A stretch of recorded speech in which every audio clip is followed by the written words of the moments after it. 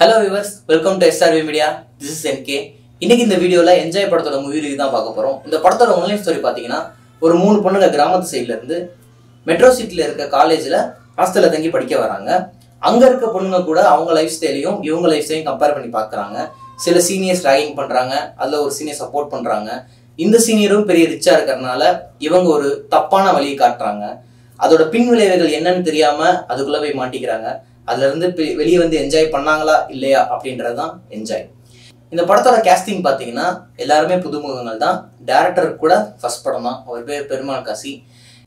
எப்பயுமே பெரிய பெரிய ஹீரோஸோட பாட்டில் பின்னாடி டான்ஸ் ஆடிட்டு இருப்பாரு. அவரை கூப்பிட்டு நடிக்க வச்சிருக்காங்க. அவர் பேர் விக்னேஷ். என்னடா டான்ஸ் ஆடுறவரெல்லாம் கூப்பிட்டு அடிக்க வச்சிருக்காங்க அப்படின்ற மாதிரி தான் ஃபர்ஸ்ட் ஆஃப் ஃபுல்லாக அவர் பார்க்குறப்ப போகும். அவருக்கு கொடுத்த கேரக்டர் ப்ளே பாய் அவர் ஹேண்ட்ஸமாக இருக்காரு லுக்காக இருக்காரு அதுக்கெல்லாம் செட் ஆயிடுவார். ஸோ இந்த மாதிரி கலகலன்னு இருக்கவங்க திடீர்னு கோவப்பட்டாலோ ஆக்ஷனில் இறங்கினாலும் நமக்கு சிரிப்பு வந்துடும் ஆனால் இவர் கிளைமேக்ஸில் பண்ண ஆக்ஷன்லாம் சூப்பராக இருந்துச்சு. செட் ஆயிடுச்சு இவருக்கு. அடுத்து படம் வந்து டபுள் மீனிங் தான். ஃபுல்லாகவே டபுள் மீனிங் தான் ஃபர்ஸ்ட் ஆஃப் ஃபுல்லாகவே எல்லா கேரக்டர் எடுத்தாலும் எல்லாருமே டபுள் மீனிங் பேசுகிறாங்க இப்போ நெல்சன் படத்தில் வரலாம் நீங்கள் பார்த்துருப்பீங்க. எல்லா காமெடி எல்லா கேரக்டரும் காமெடி பண்ணும் எல்லா கேரக்டருமே ஒரு கவுண்டர் போட்டுட்டு தான் அடுத்த சீனுக்கே மூவ் ஆவாங்க. அந்த மாதிரி இந்த படத்துல டான ஆரம்பிச்சா கூட டபுள் மீனிங்லாம் முடிக்கிறாங்க. சில இடத்துல ஓகேவா இருந்தாலுமே ஃபர்ஸ்ட் ஆஃப் முழுக்க அது முகம் சுளிக்க வச்சதுன்னு தான் நான் சொல்லுவேன்.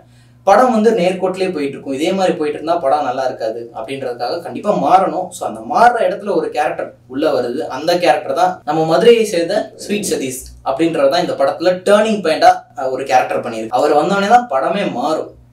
ஸோ அவர் சூப்பராக பண்ணியிருக்காரு. படத்தில் மியூசிக் பார்த்தீங்கன்னா ஓகே மதஞ்சு ஜிவி பிரகாஷ் ஒரு பாட்டு பாடியிருக்காரு. அதுவும் செட் ஆச்சு. பட் ஓவராலாக என்ஜாய் அப்படின்ற படத்தை வந்து ஃபேமிலி என்ஜாய் பண்ணலாமான்னு கேட்டால் கண்டிப்பாக முடியாது.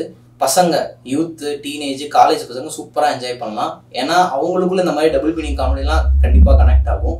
இந்த படத்தோட ப்ளஸ் பார்த்தீங்கன்னா டேரக்டர் வந்து ஒரு அவேர்னஸ் கொடுக்கணும். பொண்ணுங்க வந்து தப்பான வழியில் போயிடக்கூடாது அப்படின்றதுக்காக ஒரு கதையை வந்து எடுத்து சொல்லியிருக்காங்க.